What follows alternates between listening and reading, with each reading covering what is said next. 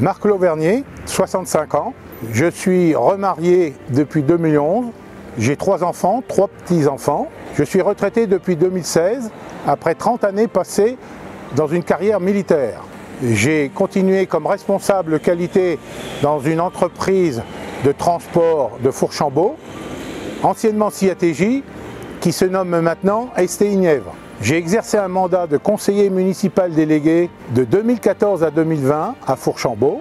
Je suis sans mandat maintenant et donc disponible à 100% pour mon canton. Je suis bénévole au centre social de Fourchambault et j'habite Fourchambault depuis 1993. N'étant titulaire d'aucun mandat, j'ai voulu mettre mon, mon temps et mon énergie à la disposition de mon canton. En regardant l'équipe de la Nièvre Ensemble, j'ai constaté que c'était un ensemble de femmes et d'hommes de différents horizons, mais qui étaient tous animés par le même désir, tourner la page de 57 ans d'une même gouvernance. Elle habite Fourchambault comme moi. J'ai fait la connaissance d'une femme pleine de dynamisme et de peps.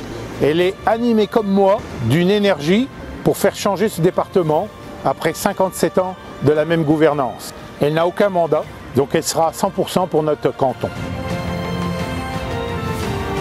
Mon remplaçant, Maurice Malétra, est maire de Germigny-sur-Loire. Il a exercé différents mandats de conseiller municipal, adjoint au maire et maintenant maire de Germigny-sur-Loire.